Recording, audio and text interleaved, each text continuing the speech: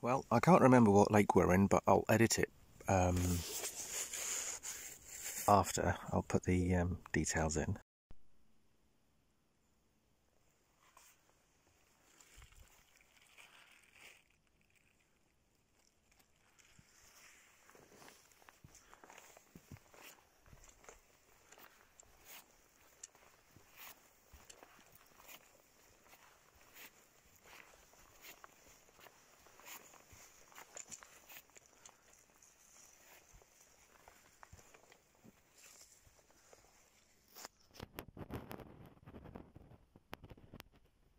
Not a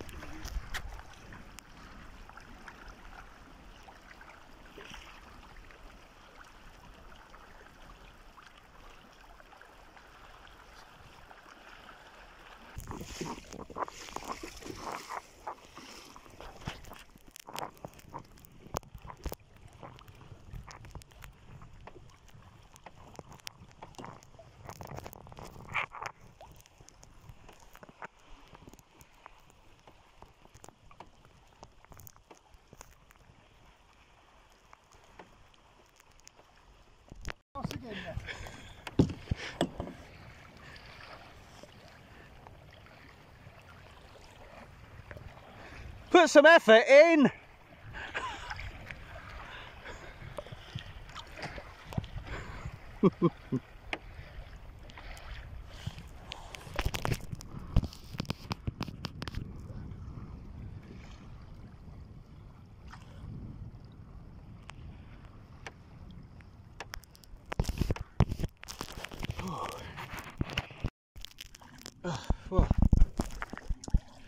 it's nice. And uh, to show you the view. And as you can tell from the goggles on my head I've been for a swim. It's a lovely bay. And up there is a, a flat area with um, really good camping. But of course you'd have to get your gear up that site and that's just thousands of years of moss and compost and all sorts and it's not so bad. We've taken a walk up there but getting all this gear two canoes worth up there is something else. We could obviously leave the canoes on the beach but um, I mean you can see perhaps how clear the water is. Andy's out fishing over there.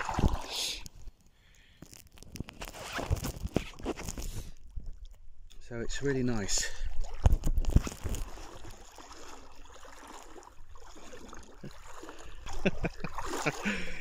We're just polite, being polite. The mud under here, I mean, I don't know if you can see my footprints there from before. It really is compact. I'm just being careful where I tread. Oh, look, a rock. Just because there there are some soft bits, and I don't know if any of those soft bits could give into who knows what. But I've heard all sorts of stories, and um, you know, there could be an old hole that's filled in with mud, and it could just take me in. So have to be careful, but really, I don't think there's anything to worry about.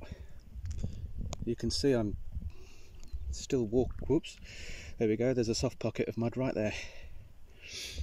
So here we are again. I'm actually walking out this time. The water's quite cold and refreshing.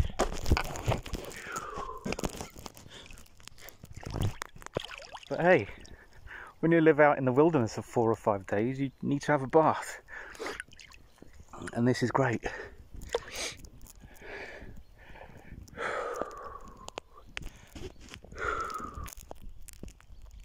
It's actually really, really, um, really refreshing. You know, I'm not shivering right now, although we just paddled 2.7 kilometres in driving wind, really quite a strong headwind with um, water breaking over the bow, and um, you know, that was hard work.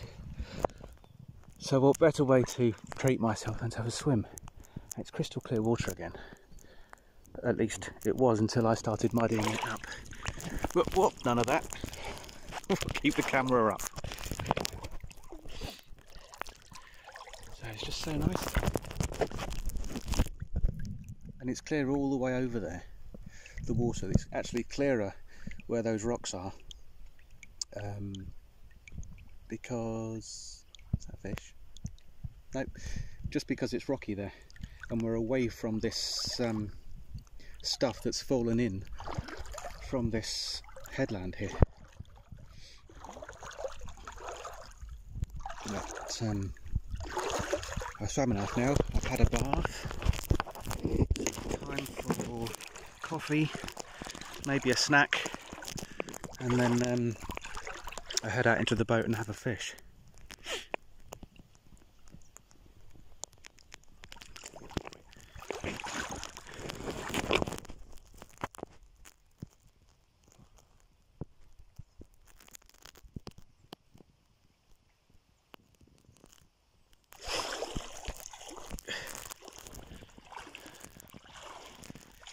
You can see my footprints. Who knows? The sediments may settle, and in a million years' time, my footprints will have made it.